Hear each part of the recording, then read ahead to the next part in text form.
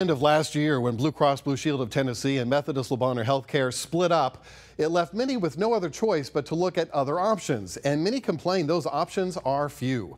RJ Shakur spoke with the family as they pray for Blue Cross Methodist and Methodist to somehow find a way to get back together again. Jay? Richard, Tony Mah is suffering from stage 5 renal failure. He is in need of a kidney and hoped to be on a list this month, but due to the stalemate between Blue Cross and Blue Shield and Methodist, he's now fighting not only for his life, but for the health care he says he spent thousands of dollars to secure.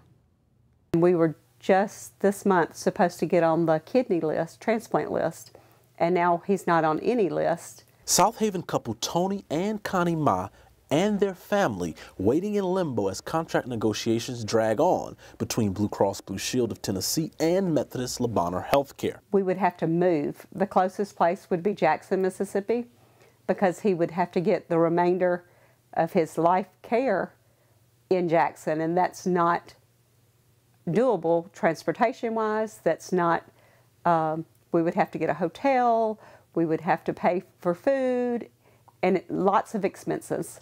A lot of out-of-pocket money. Out-of-pocket costs that they've avoided for at least the last year. Recently, Tony was diagnosed with acute kidney failure, also known as renal failure. He's been receiving treatment at Methodist ever since, until they received a letter in late December stating his only source of care would no longer be a member of the Advanced Health Systems, Inc.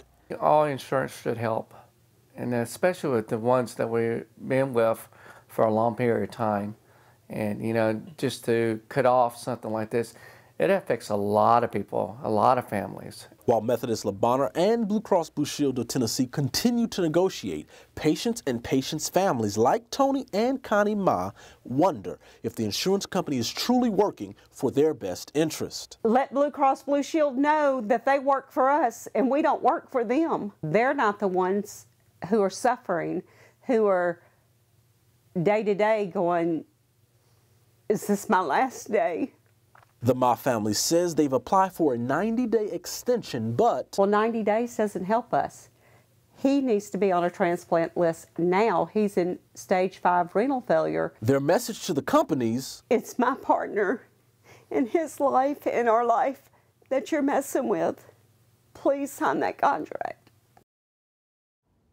Connie and her husband also told me that as they wait, their faith is what is truly keeping them going. That extension that my family is waiting for is offered, but on a case by case basis.